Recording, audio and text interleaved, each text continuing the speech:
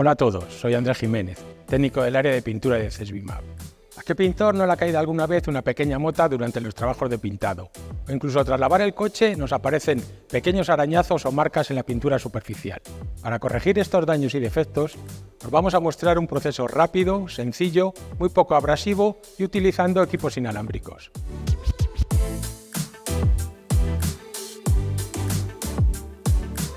Para este proceso utilizaremos una mini lijadora que funciona con batería con platos de 31 milímetros. Nos permitirá, de manera muy poco invasiva, eliminar y corregir las pequeñas motas o suciedades aparecidas durante los pintados.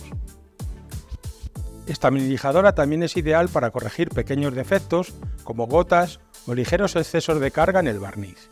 Generalmente las mini lijadoras, en este caso a batería, utilizan platos para lijar muy pequeños, platos y lijas igual de pequeñas. Entonces tenemos un plato de 31 milímetros. Con ello nos ceñimos perfectamente al daño, sin extendernos. Una vez lijado necesitamos reponer el brillo y para eso utilizamos las mini pulidoras.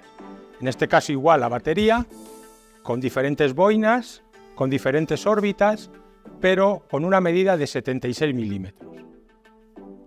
Para ayudar a cortar y a pulir necesitamos pulimento, pulimento de corte rápido.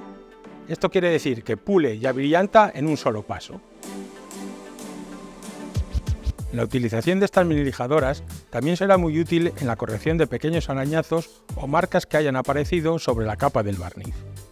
Para realizar con éxito la corrección de estos pequeños defectos y o arañazos, será necesario realizar ligeros trabajos de pulido y abrillantado. Los pintores podrán encontrar en el mercado de la automoción este tipo de herramientas, sencillas, ergonómicas, fáciles de usar y de gran utilidad. Estas herramientas son el complemento perfecto para realizar reparaciones invisibles y de máxima calidad.